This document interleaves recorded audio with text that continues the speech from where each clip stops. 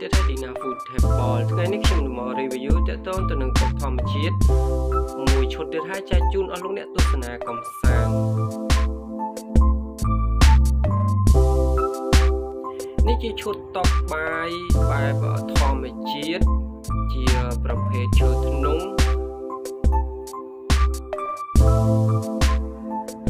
ប្រភេទឈើធ្នង់ឈាមមន់អ្នកទាំងអស់គ្នាទីមុខរបស់វាបានមុខចិត្ត ប្រវែងទៅ145អាកន្លែងចុងហ្នឹងគឺបានចិត្តអាកន្លែងគល់កណ្ដាលគល់នេះគឺបានទៅ95ហើយកម្ពស់របស់វាសន្លឹកហើយនឹងជើងបានកម្ពស់ទៅ77ហើយយើងបានបន្ថែមកៅអីចំនួន4គ្រាប់ដែលជាប្រភេទកៅអីបង្អែកដើរពួរបែបសាច់ដុំដែលធ្វើឲ្យវាកាន់តែស៊ីគ្នាជាមួយនឹងជើងនិងសន្លឹកមួយឈុតនេះស្អាតមែនតើអរអ្នកនរគ្នាចំពោះអ្នកដែលស្រឡាញ់បែបធម្មជាតិតុកមួយឈុតនេះពិតជាស្អាតហើយអាចយកទៅប្រើប្រាស់បានយ៉ាងល្អតែម្ដងដែលយើងឆ្នៃវាឈើ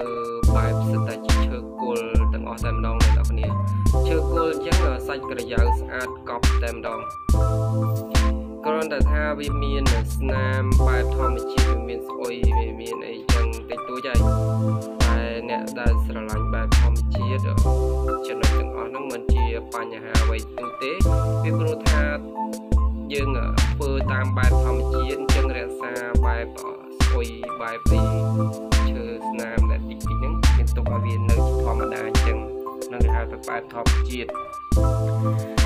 វាខុសពីបែបប្រណិតបែបប្រណិតគេចិត្តយកតាកន្លែងណាសាច់ស្អាតស្អាតទេបែបធម្មជាតិ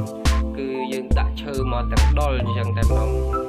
ចំពោះកៅអីវិញ4គ្រាប់នេះអ្នកទាំងអស់គ្នាគិតថាមួយគ្រាប់ហ្នឹងលើកម្នាក់ឯងពិបាកលើកដែរពីព្រោះតែឈើទាំងកាប់ទាំងកាប់តែម្ដងយើងយកឆ្នៃវាធ្វើជាក្បាំង គុណចំពោះការតាមដាននៅវីដេអូនេះហើយចំពោះព័ត៌មានបន្ថែមអស់លោកអ្នកអាចធ្វើការទំនាក់ទំនងដែលលេខទូរស័ព្ទរបស់គាត់នៅក្នុងវីដេអូនឹងតែម្ដងគ្រាន់តែអ្នកទាំងអស់គ្នាប្រាប់ថាបានឃើញនៅក្នុង channel ខ្ញុំប្រាប់ទៅគាត់ទៅអឺគាត់នឹងដឹងហើយគាត់ធ្វើការប្រាប់ព័ត៌មានលម្អិតអំពីឈុតមួយចុងនេះចែកជូនអស់លោកអ្នកតែម្ដង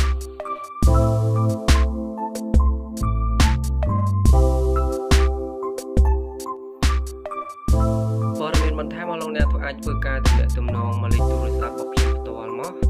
អរគុណចំពោះការតាមដាននៅវីដេអូនេះសង្ឃឹមថាជួបអ្នកទាំងអស់គ្នានៅវី